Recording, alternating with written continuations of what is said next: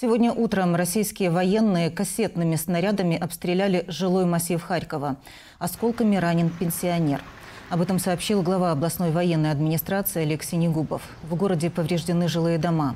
А накануне вечером враг ударил по центру города. Две ракеты взорвались возле здания обл. администрации. Пострадавших нет, но разрушено трехэтажное здание, расположенное рядом. Россияне продолжают обстреливать и Харьковскую область. Ранения получили двое мирных жителей. По словам Олега Синегубова, враг пытается наступать, но несет огромные потери личного состава.